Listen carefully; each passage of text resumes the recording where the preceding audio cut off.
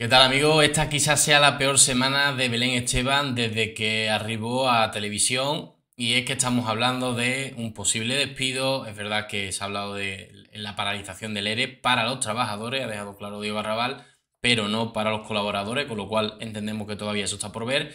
Es decir, el posible despido de Belén Esteban después de 14 años, que es de las más antiguas de Sálvame. Eh, bueno, a esto hay que sumarle eh, Jesulín Dubrique, que hace una entrevista para Telecinco, que a ella, esto, es como si fuera su casa, y a ella eso le ha molestado una eternidad, una, o sea, le, ha molestado muchísimo como si esto fuera suyo y ella fuera la dueña del cortillo de Telecinco, cuando al final el hombre mm, le dio un par de zascas, pero sin querer, ¿sabe? En plan, yo quiero mi, yo respeto la privacidad y la voluntad de mis cuatro hijos, ahí sí que es verdad que le dio un pequeño zasquillo, porque la voluntad de Andreita es que no se la mencione y ella no para de hacer alusión a ella. De hecho, estas dos semanas eh, es lo que más ha hecho. Y ya luego, tercer punto, eh, es que Toño Sanchi, una vez que ya no está Sálvame, recupera los trabajos perdidos y ya empiezan a contar con su agencia de representación, con lo cual vamos a leer el artículo de Con la Razón, en el cual explica la perfección qué es lo que está sucediendo aquí ahora o va a suceder a partir de ahora, ¿no? Eh, me desea acerca posturas con Toño Sanchi tras cancelar Sálvame su agencia de representación, cerrado algunos proyectos con el grupo audiovisual. Atrás quedan años en los que Toño Sanchi se cubría de gloria representando a los rostros más populares del panorama televisivo. Belén Esteban, como recordaréis, eran como hermanos, ¿no? Y la disputa que hubo entre ellos, ya luego, en fin, fueron a los tribunales y demás. Fue durante mucho tiempo su joya de la corona y por aquel entonces no podía imaginar que su gallina del huevo de oro terminaría convirtiéndose en su peor pesadilla. Tanto así que la de Paraguay Cuello lo acusó de quedarse con parte de su dinero y lo llevó a los tribunales iniciando un largo contencioso que terminó con la victoria de la tertuliana y la caída en desgracia del manager.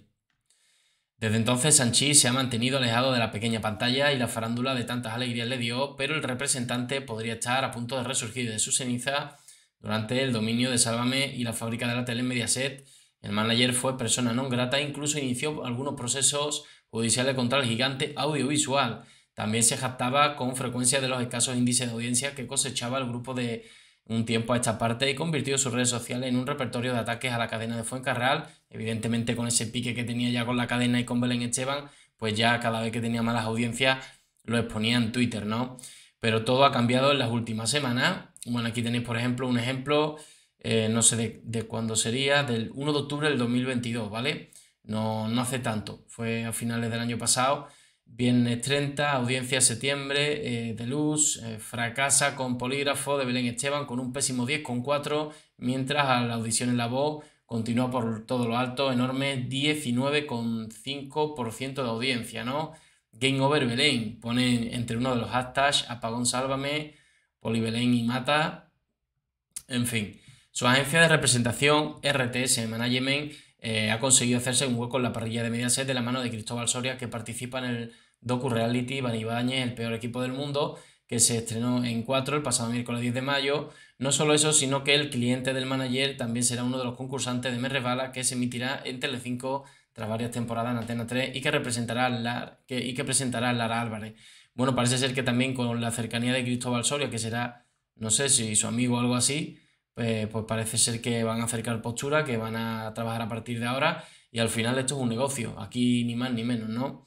Si, oye, si se ha retirado demandas con Isabel Pantoja, con Rocío Carrasco, ¿por qué no llegar a un acuerdo y acercar posturas con Toño Sanchi, ¿no? Los cambios en la cúpula de media se han permitido que el grupo y Toño Sanchi acerquen posturas, retomando así una relación marcada por la cordialidad y eh, que ya se aprecia en las redes sociales del manager. Los ataques y las burlas por los escasos índices de audiencia de algunos programas de la cadena han dejado paso a, las exaltaciones de las noches en las que Telecinco lidera y ahora el manager presume de cerrar proyectos con la casa de por medio, sin duda una nueva muestra del cambio de, era en el grupo italiano. Y aparte fijaros que una persona tan importante como Toño Sanchi, bueno, importante, ya me entendéis, eh, mm, muchas personas importantes lo siguen en redes sociales y siempre estaba poniendo las escasas audiencias o las malas audiencias de Telecinco y ahora solamente exalta, según dice el medio, eh, exalta las buenas, ¿no? Eso quiere decir que, bueno, ahora lo tienen de su lado. Este periódico se ha puesto en contacto con él y por lo visto pues no quiere hacer declaraciones. Bueno, como ya sabéis, los representantes, quitando la época aquella que cortó con Belén y se quiso hacer algunos de luz y ganar dinero, quitando aquella época, como bien dice el artículo, eh, quiso abandonar la pequeña pantalla para dedicarse a lo que se dedica y, no estar en primera plana, ¿no? Bueno, mi gente, hasta aquí, hasta aquí tengo que contaros. La verdad que Belén Esteban me imagino que estará súper rabiosa porque será su peor semana. Se queda sin Sálvame. Eh, Toño Sanchi, Jesús Lindo Brique, en fin, se ha juntado todo en la peor semana. Eh, y bueno, es lo que hay, ¿no? Al final, estas son cosas de la vida que pasan. Jesulín no te ha hecho nada. Toño Sanchi, que trabaja en Mediaset, a ti te tiene que resbalar siempre y cuando tú encuentres acomodo, te encuentren acomodo lleguen a un acuerdo contigo, que eso sí que es verdad que es lo más jodido que le ha pasado esta semana a Belén o la semana pasada. Eso sí quizás sea lo más jodido, pero el resto de cosas te tienen que resbalar. Lo que no puede ser es vivir con un rencor permanente contra Jesulín y contra las personas con las que te lleva mal, como en este caso también Toño Sanchi, ¿no? Bueno, mi gente, dejen vuestros comentarios siempre respetuosos, como ya sabéis, nos vemos en el siguiente vídeo. Un saludo.